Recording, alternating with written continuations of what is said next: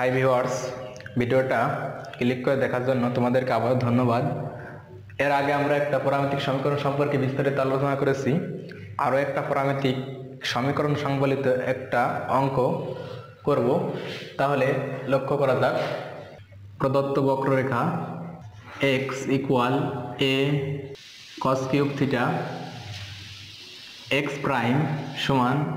এ হচ্ছে ধ্রুবক। পাওয়ার আগে চলে আসলো, পাওয়ারের ত্যাগ কমে গেল কজ স্কোয়ার থিটা আর কজ রে করলে হবে মাইনাস সাইন থিটা এখন হবে minus three a cos square theta into sine theta এখন আমাদেরকে বিন্দু দেখতে হবে থেটা সমান পাই বাই ফোর বিন্দুতে এক্স প্রাইম সমান minus three a into cos square cos cos pi by four মানে পাঁচচল্লিশ ডিগ্রি পাই ইন্টু সাইন পঁয়তাল্লিশের মান হচ্ছে one by root two minus three a into one by two into one by root two তাহলে আমাদের ultimately three a by two root two এই জিনিসটা three a by two root two এখন আমরা আবার যদি এক্সকে ডিফারেন্সিয়েশন করি থ্রি এ আমরা কমন রেখে দিলাম, এটাকে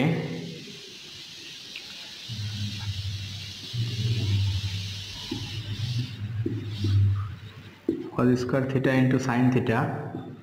এটাকে ডিফারেন্সিয়েশন করলে হবে। আমরা যদি কজ স্কোয়ারকে স্থির রাখি, তাহলে কজ স্কোয়ারকে স্থির রাখলাম সাইন স্কোয়ার সাইনটা করলে হবে কস থিটা প্লাস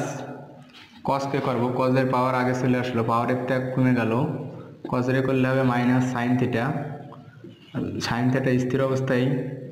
থাকবে। অর্থাৎ ইউ ইন্টু ভি এর formula minus three a into cos cube theta minus two cos theta into sine square theta সিরাশিটিত নিয়মে থেটা সমান পাই বিন্দু, পাই বাই ফোর বিন্দুতে এক্স ডবল প্রাইম সমান minus three a into cos theta অর্থাৎ cos pi by four অর্থাৎ পঁয়তাল্লিশ degree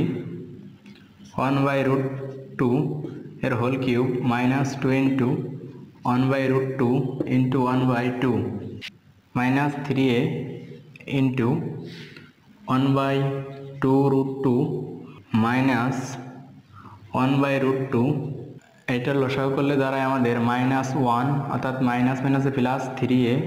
divided by two root two এটা লসাগু করে ক্যালকুলেশন করলে এটা দাঁড়ায়। তাহলে আমাদের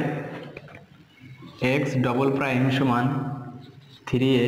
divided by two root two sine cube theta সমান পাওয়ার আগে চলে আসবে পাওয়ারের ত্যাগ কমবে, অর্থাৎ সাইন স্কোয়ার থিটা সাইন রে করলে হবে কস থিটা থেটা সমান পাই বাই ফোর বিন্দুতে ওয়াই প্রাইমের ভ্যালু হচ্ছে three into one by root two এর whole square into into one by root two এখন আমাদের দাঁড়াবে three a into one by two into root two ultimately three a by two root two y প্রাইমের value হচ্ছে three a by two root two অনুরূপভাবে যদি আমরা Y double prime করি সেটার ভ্যালু হবে আমাদের three a divided by two root two y double prime সমান three a divided by two root two সকলেরই খেয়াল আছে যে পরামিতিক সমীকরণের বক্রতার ব্যাসার্ধ নির্ণয়ের সূত্রটা, সেটা হচ্ছে rho equal x prime square plus y prime square এর পাওয়ার হচ্ছে three by two divided by x prime y double prime minus x double prime y single prime অর্থাৎ এক্স প্রাইম স্কোয়ার মানে হচ্ছে এইটার স্কোয়ার তিনটের square করলে হয় nine a square by two root two এর হোল স্কোয়ার করলে হচ্ছে ফোর ইন্টু টু অর্থাৎ চার দুগুণি আট। প্লাস সেমভাবে এই স্কোয়ার বাই এইট এর পাওয়ার হচ্ছে আমাদের থ্রি বাই টু এবার নিচের দিকে লক্ষ্য করি x prime divided by two root two into y double prime three a by two root two minus three a by two root two into three a divided by two root two এখন এটাকে আমাদের যদি লসাগু করি, তাহলে দাঁড়াবে নয় নয় আঠারো আঠারো এই স্কোয়ার বাই এইট এর পাওয়ার হচ্ছে আমাদের থ্রি বাই টু আর নিচেরটাকে যদি আমরা ক্যালকুলেশন করি, তাহলে আমাদের দাঁড়াবে হচ্ছে তিন তিরিখকে নাইন এই স্কোয়ার দুই দুগুনি চার আর দুইটা রুট টু মানে একটা টু তাহলে আমাদের হচ্ছে চার দুগুনি আট। মাইনাস এটাকে করলে হবে minus nine a square by eight তাহলে নয় আর নয় আঠারো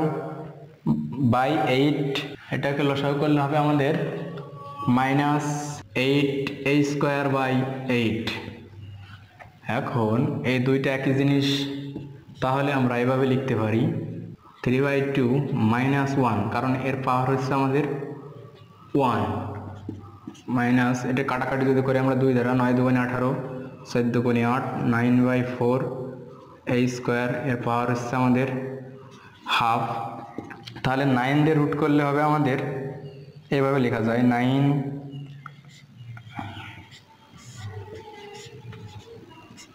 সমান minus three a divided by two যেহেতু বক্রতার ব্যাসার্ধ কখনো ঋণাত্মক হবে না, সেহেতু আমরা মডুলার চিহ্ন সূত্রের আগেও ব্যবহার করতে পারি পরে ব্যবহার করতে পারি। তাহলে আমাদের আলটিমেটলি বক্রতার ব্যাসার্ধ হবে থ্রি এ বাই টু এটাই আমাদের অ্যান্সার বন্ধুরা, ভিডিওটা যদি আপনাদের কাছে ভালো লাগে, তাহলে বন্ধুদের সাথে শেয়ার করবে লাইক এবং সাবস্ক্রাইব করে আমাদের পাশে থাকার জন্য আপনাদেরকে আহ্বান জানাচ্ছি। আপনাদের সহযোগিতায় আমাদের